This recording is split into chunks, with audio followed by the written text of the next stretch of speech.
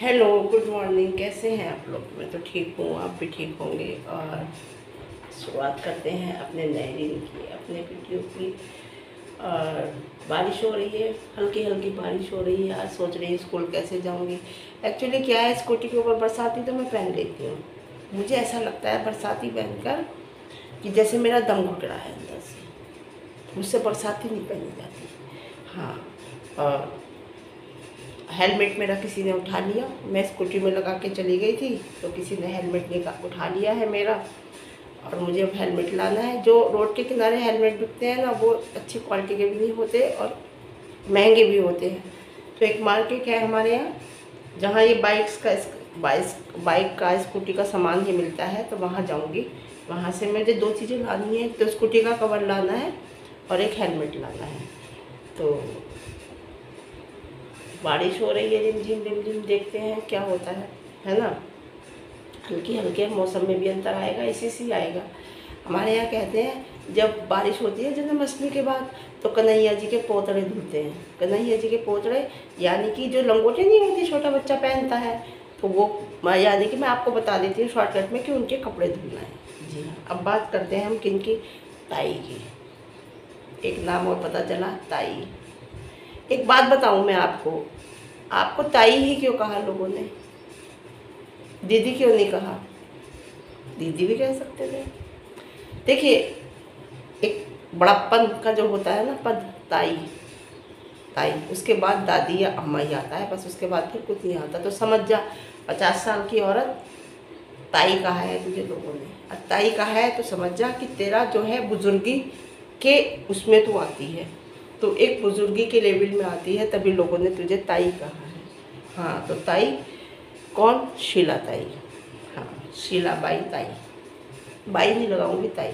अरे शीला ताई, हम तो डर गए भाई, ऐसे ऐसे लोगों के साथ। शीला ताई, क्या बात है? शीला ताई जाना नहीं चाहती, लेकिन शीला ताई को कभी कभी मजबूरी में जाना पड़ता है। शीला ताई का हम बहुत ज़्यादा जल गए। समझे काली मैना? बहुत ज़्यादा जल गए हम। बहुत बुरा हाल हो रहा है हमारा जलने की वजह से। हम्म, अरे क्या बात। एक बात बताऊँ मैं मैंने कभी आपको दिखाया ही नहीं होगा। मैं कहाँ जाती हूँ कहाँ बैठती हूँ कैसे लोगों से बैठना उठना है कभी नहीं दिखाया। और ना दिखाऊँगी। है तो है उस पर आप उसके बैठने उठने से वहाँ आने जाने से आप लोगों पे क्या असर पड़ता है? आप लोगों से क्या फ़ायदा दिखाने से मैं रिएक्शन ब्लॉग बनाती हूँ, ठीक है। आने वाले टाइम में अपना ब्यूटिशन से रिलेटेड एक चैनल बनाऊँगी। उससे मैं टोटल ब्यूटिशन के रिलेटेड ही बातें बताऊँगी। और जो बताऊँगी बिल्कुल सही बताऊँगी पावरफुल बताऊँगी। खोलूँगी चैनल ठीक है? और हाँ तो ताई, एक बात बताऊँ ताई को क्या बोलना था स्टेज पे जाके? ताई को यही नहीं पता था। ताई को अगर ऊपर खड़ा करा था, बच्चों के लिए क्या बोलना था? ताई ने क्या कहा? मेरी रील देखते हो, मुझे बड़ी खुशी होती है मेरे बच्चे। आज की जेनरे न्यू जनरेशन मेरी रील देखती है। यंगेस्ट, ये कहा यंग लोग मेरी न्यू जनरेशन नहीं कहा उसने उसने कहा, नए उम्र के लोग यंगेस्ट यंग लोग मेरी रील देखते हैं। रील दिखाएगी बच्चों को अपनी। नाचते हुए, डांस करते हुए शर्म नहीं आती है तुझे ये बोलना था वहाँ पे चढ़ के? ये बोलना था तुझे? और एक बात बताऊँ, मैं बुढ़ा आएगा, वापस आएगा, ज़रूर आएगा। मैं तुम्हें बता रही हूँ, उनका ब्रेकअप हो गया है इस टाइम क्योंकि अगर ब्रेकअप नहीं होता तो ये वीडियो कॉल पे वीडियो कॉल दिखाती। वीडियो कॉल पे वीडियो कॉल होते हुए दिखाती थी ना? ये ज़रूर दिखाती। बात करते हुए ज़रूर दिखाती। अब तो बुढ़े के बारे में इसने बात करनी भी बंद कर दी है, बताना भी बंद कर दिया है। पहले तो बता भी रही थी काम से बाहर गए हुए। हैं बताना भी बंद कर दिया है। इनका ब्रेकअप हो गया है और अब आएगा वो बात, जब ये ठंडी पड़ जाएगी, ख़त्म सी हो जाएगी, तब वो ज़रूर आएगा ज़रूर आएगा।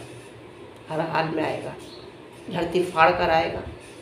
आसमान चीर कर आएगा। इसके लिए शीलाबाई के लिए आएगा। और शीलाबाई बुलाएगी उसे, इतना बताती हूँ। क्योंकि शीलाबाई को नहीं रह पाएगी ये। हाँ शीलाबाई बुलाएगी। और देखो, सूरत, मुझे कल मैसेज आया था एक डीएम पर कि सूरत में अपनी फैमिली के साथ घूम रहा है। हमने मार्केट में देखा है बूढ़े को। कि अपनी फैमिली के साथ शॉपिंग कर रहा है।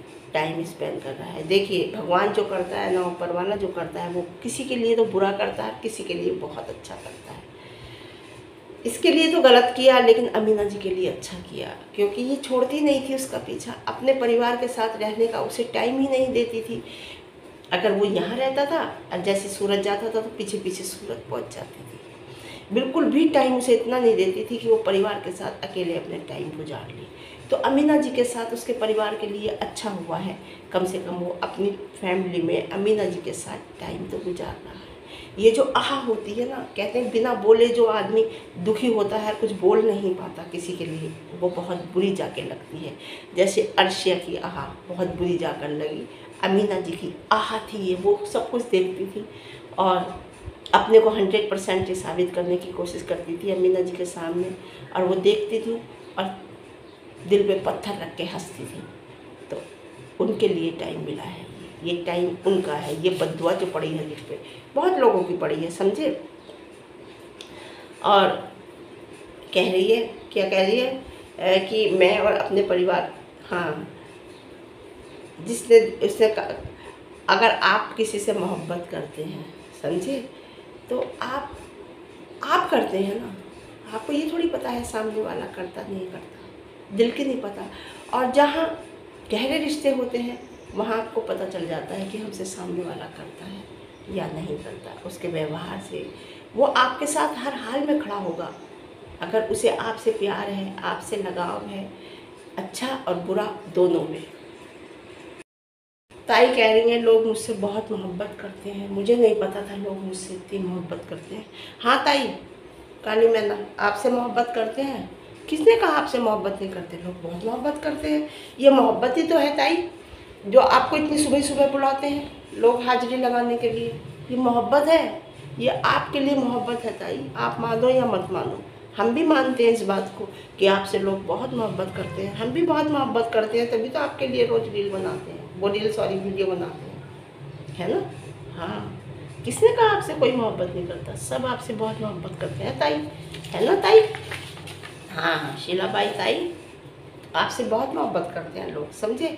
और सुबह सुबह आपको इतनी सुबह ही आपको हाजिर देने वहाँ बुलाते हैं, अपने थाने में बुलाते हैं, कोर्ट में, थाने में कैसे वो बुलाते हैं, महाराष्ट्र का मुझे पता नहीं तो आपकी ही मोहब्बत ही तो है, मोहब्बत नहीं तो क्या है?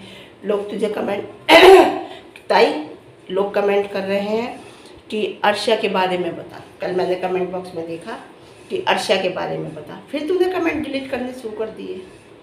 बैड कमेंट जितने थे, सब डिलीट करने शुरू कर दिए तूने, है ना? हाँ। और ये जितने अच्छे अच्छे कमेंट है ना, तेरी वेबसाइट से आ रहे हैं। वेबसाइट वाली आईडी से आते हैं तुझे। क्योंकि इस, इन, इस नंबर से, इस आईडी से कोई भी किसी और को कमेंट नहीं आता। केवल तुझे ही आता है। समझ गए? अगर तुझे अच्छे कमेंट आते हैं इस आईडी से तो लोगों को भी तो बैड कमेंट आने चाहिए जो तेरे लिए बोलते हैं। नहीं आते, क्योंकि ये वेबसाइट के आईडी से बने हुए हैं। समझे ताई? किसी और को बेवकूफ़ बनाना? हमें बेवकूफ़ नहीं बना सकती भोली भाली पब्लिक है ना, उसे बेवकूफ़ बना। और सारे बैड कमेंट जितने जो तुझे आईना दिखाते हैं तूने कल सारे डिलीट कर दिए, फिर दोबारा से। और हर रोज़ बोलूँगी मैं इस बात के लिए कि तू कमेंट डिलीट करती है, समझ गए? और अब तेरी उसमें भी आके बोलूँगी, कमेंट बॉक्स में। तेरी क्या बोल रही हूँ, उसमें आके बोलूँगी। कमेंट बॉक्स में आके बोलूँगी, ठीक है? और अर्शिया के बारे में पूछ रहे हैं लोग कमेंट बॉक्स में। बता ना अर्शिया कहाँ गई? बता ना असलियत बताना। तू तो बहुत सच्ची है। तू तो बहुत अच्छी है। बता अर्शिया के बारे में तूने क्या कहा? बता चिंटू के बारे में लोग पूछ पूछ के थक गए। तूने नहीं बताया क्योंकि तुझे तुझे जिस बारे में नहीं बोलना होता, जहाँ तो खुद गलत होती है, तू वहाँ नहीं बोलती। मैं बताती हूँ अर्शिया के बारे में। अर्शिया को तूने पता ना सही सही बात कि तूने अर्शिया को अपने बेडरूम में सूरत चली गई छोड़ के। वही एक टाइम था जो तू सूरत छोड़ छोड़ के गई थी और तेरे लड़के ने बेडरूम में तेरे कैमरे लग रहे हैं, उस कैमरे में उसकी फ़ोटो आई। समझे? जो भी कुछ तेरी गर्लफ्रेंड थी ना तेरे बेटे की, छोटे बेटे की गर्लफ्रेंड थी और कैमरे में उसमें कैप्चर किया। और जब तुझे, तूने फिर उसे, जब तेरे कैमरे में वो आ गई तो वो भोली भाली लड़की थी, उसे पता नहीं था, है ना? सीधी उसे मालूम नहीं था ना तू कितनी चलाक है।